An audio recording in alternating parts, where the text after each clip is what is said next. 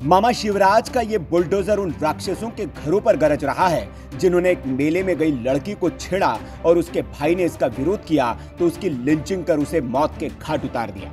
लड़की छेड़ने वाले और कत्ल करने वाले आरोपियों की पहचान सलमान, जीशान, इशराक, सलीम उर्फ़ सद्दाम, उस्मान के रूप में हुई है।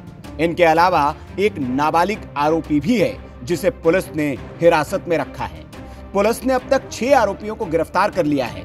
बाकी तीन अभी भी फरार बताए जा रहे हैं। फरार आरोपियों की पहचान यासिर, शकील और अकील के तौर पर हुई है और पुलिस इनकी तलाश में जुट गई है।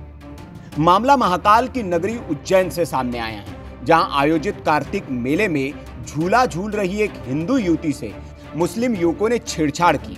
इस पर जब उसके भाई ने विरोध किया तो उन लोगों ने अपने साथियों को बुलाकर चाकू से उस पर हमला किया और उसकी लंचिंग कर उसे मौत के घाट उतार दिया। मृतक की पहचान दीपक उर्फ़ दीपू जादम के रूप में हुई है, जिसका पोस्टमार्टम कर शव को परिवार के हवाले कर दिया गया है और आरोपितों को सजा देने का काम शुरू हो चुका है।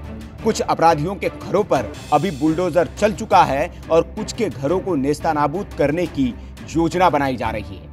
अभी तीन आरोपितों के घरों को बुलडोजर चलाकर ध्वस्त किया जा चुका है, जबकि बाकी आरोपितों के घरों को वेरीफाई करके उन पर कार्रवाई करने की बात की जा रही है। गिरफ़्तार आरोपितों में से एक का परिवार किराए के मकान में रह रहा था। उनको भी मकान मालिक ने मकान खाली करने को कह दिया है।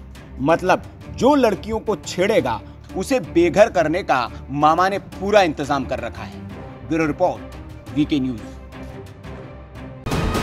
VK news राष्ट्र के नाम